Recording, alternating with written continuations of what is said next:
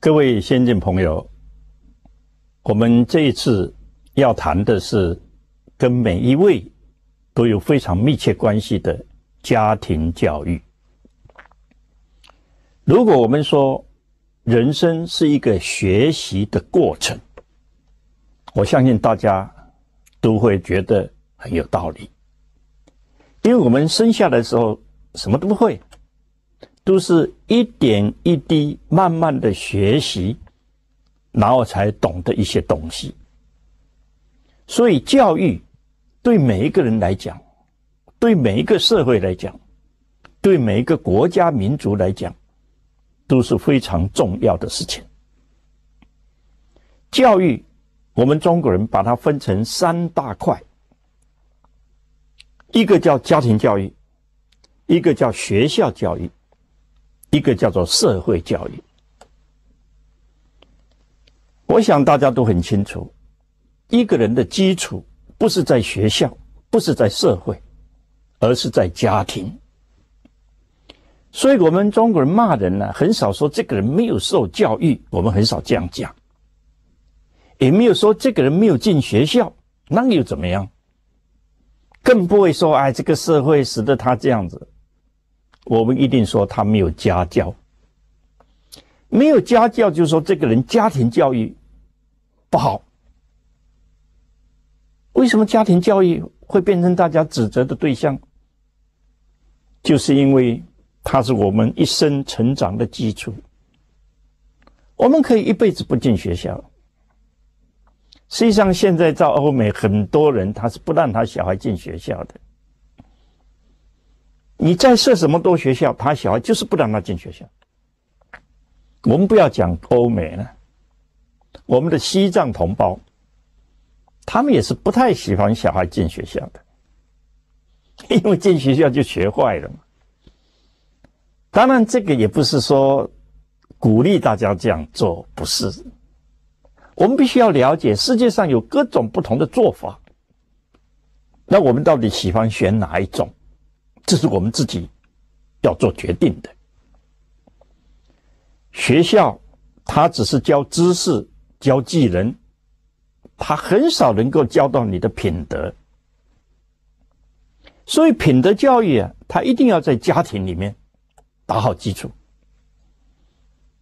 你要寄望学校的老师把你的小孩子培养的品德很好，恐怕是会失望的。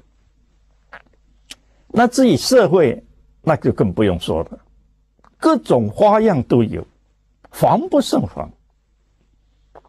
因此，一个人呢，我们看他是看他的家庭教育，家庭教育把他的品德培养的很好的话，大概我们会比较相信他，而且他一生呢，各方面都会比较顺利。我们今天。要从一件事情说起。这件事情呢，刚说出来，大家一定会觉得很奇怪，哪有这种事情？你走遍全世界，全世界的人，他都是三代同堂的，你会觉得很奇怪，因为我们满脑子都觉得三代同堂是中国的老东西，是一种不够现代化的。是一种很落伍的想法。你全世界走走看，哪个地方不是三代同堂？为什么？因为它是一种很自然的现象。你看，我们妇女，她会生育小孩，不错。可是她有个年龄的限制。为什么？因为要保障妇女本身的安全。所以我们通常都在二十岁到四十岁这二十年当中，老实讲，三十五六岁我们就开始有点担心了，因为她属于高龄产妇，如果到了四十岁，那我们特别特别要小心，因为那有相当的危险。所以，我们女性同胞会生小孩，千万记住，我们不是一辈子都能够这样做的。为什么要有年龄的限制？为了健康，为了安全，为了母女双方面的好处。所以，老天爷才让人类生育啊，它有一个年龄的限制，这是很好的事情。那各位想想看，你二十岁的时候生小孩，你的父母四五十岁，他还在啊。啊，就算你四十岁才生小孩，你的父母六七十岁啊，他也还在啊。所以年轻人结婚生子的时候啊，你看看自己的父母。他还是健在的，有的父母这一代，有了你自己这一代，又有了小孩这一代，那不是三代是什么？哪里有说生了小孩，父母他就过生了，他就往生了，他就过世了？没有那回事情。所以大家应该了解，我们中国人他都是顺应自然，他不太人工化去。硬性要怎么做？因为那不符合人性的。自己生下来的时候还不会做父母，我相信没有一个人是准备好做父母然后才来做父母，没有。这是糊里糊涂就生了个小孩了，然后就开始把小孩当实验品，实验来实验去，这个小孩真的很可怜。那小家庭就是这样，不然怎么办呢？哎，我们中国就知道，你有上一代可以请教。他们没有学问，但是他们有经验嘛。他最起码带过几个小孩，最少也带过一个嘛，不然怎么有你呢？他的经验可以做你的参考。现在不是，现在年轻人要去上课，怎么做父母？和 那些人讲的又是西方的一套。我没有说西方不好，我从来没有说西方不好，只是跟我们不一样了。你看，我们喝开水，我们要温开水；西方人喝冷开水，那就是不一样。我们吃饭的时候，我们很懂得保卫我们的肠胃，保卫我们的牙齿。我们不会冷的、热的这样掺着吃，我们不会。西方的就是这样，热的菜，但是一瓶冷饮。现在小孩都在学，学到最后谁倒霉？自己倒霉。你肠胃坏了谁倒霉？你牙齿掉了谁倒霉？只是便宜的医生而已。所以做父母要向谁学？向自己的父母学最安全。因此，中国人他就安排一个三代同堂，里面呢有老年的，有中年的，有小的，老中少，他都有。这不最好的一个环境，最好的一个单位，最好的一个结构，最圆满的一个组织。其实全世界你去看，差不多都是一个样子。只是有的他比较喜欢住在一起，有的他不住在一起而已。你不能说不住在一起就不是三代同堂吧？我们中国人跟西方人最大的不同在哪里？其实就是我们会祖宗崇拜，他们不会。中国人是全世界唯一的把祖宗的灵放在自己肩膀上。然后到处去跑。西方人心中只有上帝，他没有祖宗。中国人心中不一定有上帝，但是一定有祖宗。毛主席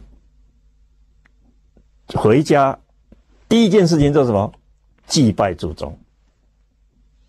他当时讲了一句话，是很感动人的。他说：“管他有没有。”拜了再说，拜了再说，你拜了你就心安了嘛。你看中国人考取了状元，回家拜祖宗；中国人当了大官了，回家拜祖宗；中国人生了小孩了，回家拜祖宗。为什么？因为祖宗总会照顾你嘛。那你说这是迷信呢？你只要不迷就好了吧？你信就好，不迷就不迷信的嘛。我希望各位了解，这个跟迷信是没有关系的，跟鬼神也没有关系。他只是说你的祖先活在你心中，然后呢，你就可以活在你子女的心中，就是这么一件事情而已。你心中没有你的祖先，你的子女将来心中就没有你了，就这么一个简单的原则。你的子女只要心中没有你，你怎么教都教不好，都教不好。你现在看到很多年轻人乱七八糟，其实只有一个原因，就他心中没有他的父母。你看，我们中国人心中有父母，我们要做很多事情不敢做，为什么？因为怕。这个父母会伤心，因为他父母会不高兴。西方人没有，西方人我喜欢做就做了嘛。那父母不高兴是他的事嘛，关我什么事？我叫上帝对我好，照顾好我好就好了嘛。这是不一样的民族。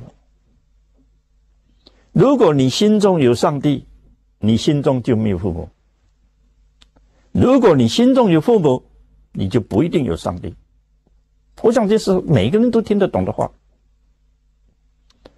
祖先崇拜是为了教育，不是为了迷信。那个跟到庙里头去拜神不太一样的，不太一样。你可以一辈子不到庙里头去拜神，但是你在家里，我相信各位一定会拜祖宗。拜祖宗只是多了一个。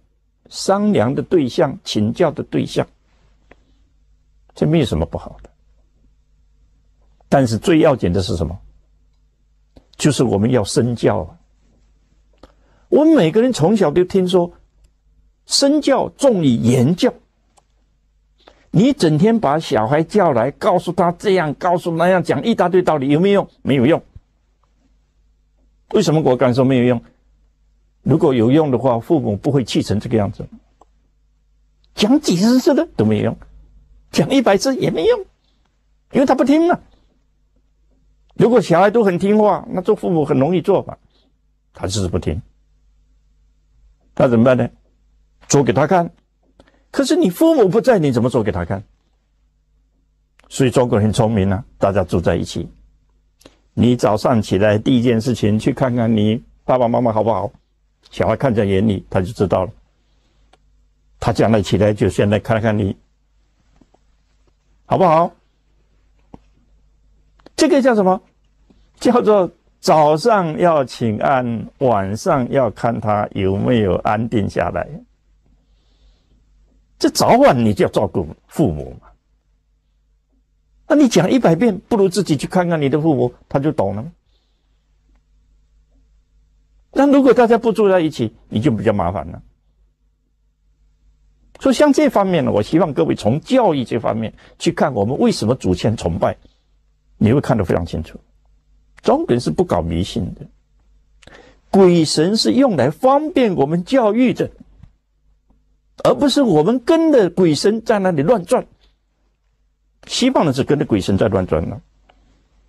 上帝叫你每个月捐多少钱，你就要捐。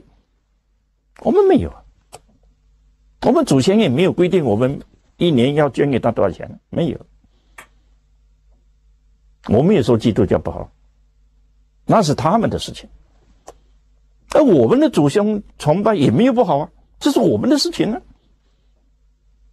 那为什么人家的事情就是好的，我们自己事情就是坏的？哪有这么不公平的事情吗？三代同堂是为了身教的方便。你怎么对你父母，你的小孩都看到，你也不必教他要孝顺什么，因为这种话很难说的嘛。你可以告诉你的小孩，长大要养我，长大要要孝顺我。你这种话方便说吗？不方便说。你做给他看嘛？那你要做给他看，总要有个对象嘛。这就叫三代同堂。家庭不是讲道理的地方。你看那个父亲呢，整天跟小孩讲道理，这个爸爸就已经变老师了。他不是爸爸，那小孩就把你当老师看了。那老师怎么样？老师，我毕业了，就跟你没有关系了。那你愿意这样吗？千万记住，自己的小孩要自己教育。我们要讲家庭教育，这是第一个事情要记住。自己的小孩，自己生的，自己教。所以家庭教育不能委托别人。现在恨不得把小孩子一生下来就送到托儿所，一生下来就送到幼儿园，好像没有我的责任。那你生他干嘛？我们三代同堂啊，它是个老中少构成的一个小社会。我们整个社会就是老中少啊。我问你，儿童重不重要？当然重要。没有儿童，这个民族就没有未来。所以为什么说儿童是国家未来的主人翁？因为长大以后就是他们的。我们走了以后就是他们当家嘛，不然谁来当家呢？但是中年人重不重要？当然很重要啊，因为整个的生产都是靠他们的，不能靠谁。那老的重不重要呢？老的那个经验，你是哪里都学不到的。我爸爸大我二十岁，我一辈子都记住，他永远有那二十年的经验是我所没有的。我不跟他学，跟谁学？他老师不一定会教我，因为他不是我爸爸。可是他一定会教我，因为他是我爸爸。所以我希望说，老师就是老师，爸爸就是爸爸。朋友就是朋友，不要像现在这样混在一起，那就是角色混淆嘛。三代同堂，他就是个社会的缩影，它变成什么？变成家庭生活社会化的一个最好的环境。你看，住在山边的人，住在很偏僻的人，他长大以后，他到了都市，他没法适应。这是他的缺陷。我们家里面长大的小孩子，一到社会上，他能够适应，因为家里就是小社会。我们整个的社会不是以个人为单位，是以家庭为单位，这是中国人的另一种特色。我们已经讲过，崇拜祖先，祖祖先崇拜。是我们第一个特色。现在我们又讲到另外一个特色，就是我们是以家庭做单位，不是以个人做单位。你看西方人一个小孩出来，我们就认定他叫 Tom 或者叫 Mary。中国人一个小孩出来，我们才懒得管他叫什么名字。我们先问他谁家的小孩？你是谁家小孩嘛？你叫什么名字又怎么样？外国人没有说我是谁家小孩。没有，他们是个人做单位，我们是家庭做单位。那你说现在我们没有办法，我们为了生活，我们哪里有办法全家人住在一起？那个没有关系。记住，中国人还有个特色，就是我们是不重视形式的民族，我们非常实际的，英文叫做 practical，我们是非常 practical 的民族。你看，我们都是实实在在，我们讲实质，我们不太讲形式，所以看起来中国没有礼貌。那有礼貌又怎么样？我对你笑嘻嘻，心里头老想挖你的东西，老想置你于死地，那这不更糟糕吗？中国人记住，形式化是没有用的。我们都是看到你心里头去，看你心里在干什么，这个才重要。你没有那个形式，你有那个心就够了嘛，对不对？现在手机那么发达，哦，你一天可以花很多的时间打电话给你的朋友，你为什么舍不得早晚打个电话给你的父母问一问？那跟你亲自见面一样啊。那你小孩在旁边呢？你小孩看你这么晚还打手机，打给谁呀？打给朋友，他就知道朋友很重要；打给父母，他就知道父母很重要。你还要教他吗？不逼的，他会脑子记得清清楚楚的。所以你多往来、多关心，跟住在一起不是一样，还是可以发挥很实质的效应。啊，礼拜天要到哪里去？不能到礼拜天早上才去跟爸爸妈妈讲我要去哪里，那不对。大概两三天前就跟讲啊，这个礼拜天。我们想到哪去？那他老人家心里有个准备了，他就不会突然间觉得你怎么又又出门了。这种教育叫做身教，比你讲一百个道理都要管用。因为中国人他是彼此关心的民族，你不关心，嘴巴再甜，虚情假意；你不关心。礼貌再好，这个人很虚伪，礼多必诈，这些都是外国人怎么听也听不懂。但是我要提醒各位，我们的媒体界越来越年轻的结果，所讲的内容是越来越西方化，尤其是那些教英语的，在媒体上教英语的，你要特别小心。因为他讲的都是美国人那套对的，有话要讲出来，就是美国人，这不是中国人。你说一次试试看。你看两个小孩，一个感受出来，你是个坏妈妈，你有什么感觉？他将来会受什么罪？他外国人就说你是坏妈妈，你就是坏妈妈。可是另外一个小孩是不是比较聪明？他不会说。他只是哭而已，他哭心里头也在想你是坏妈妈，但是他不讲啊。结果妈妈感觉怎么样？我有时候会去看那个电视，他们教英文就教英文就好了，他会教这些东西。你有话不要忍呐，要说出来呀，那不是中华文化。中国人会忍的人，他永远是占便宜的。你说出来说吧，你只能说一次嘛，没有第二次了，说完就没了。西方人不会，因为西方人他听那种话，他不会觉得这种话很坏，会不会觉得这种话很刺激他？他不会。中国，你试试看嘛，对不对？你跟你的朋友讲，我们到此为止了，以后你也不要找我了，你试试看嘛。你能讲才怪。我们是彼此关心，你心中有我，我心中有你，所以我们的家庭教育，如果教到小孩心中没有父母，那你不用教了，你不用教了。小孩出去，我们眼睛看不到他，我们只用我们的心去管他，嘴巴管不了，人看不见，你没有啊？你的小孩心中没有你，他一出去，他 完全没有父母的存在，他什么都可以做嘛？他怎么不能做？当然呢，大家马上会讲：“哎，现在一切都变了。”我告诉你，千万千万记住这句话：生活的方式是可以变的，生活的法则是绝对不能变的。这个变跟不变就是这么简单。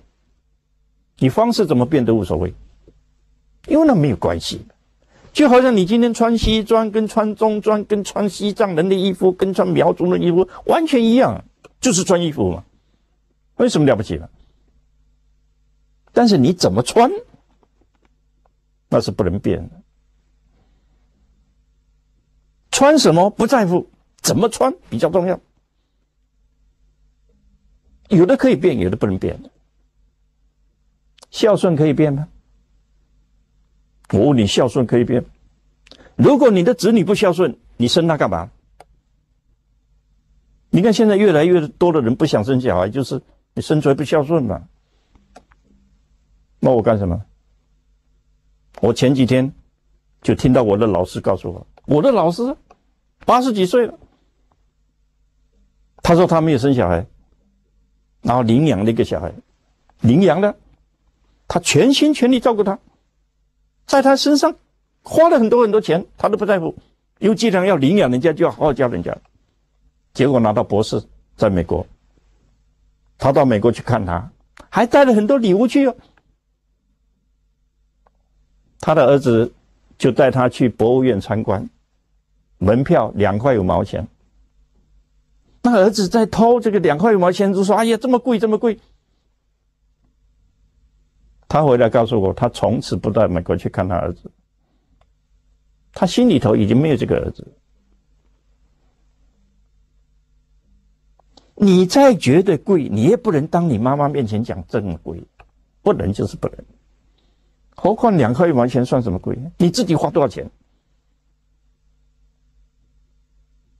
这种生活的法则，不管你到哪里都是不能变的。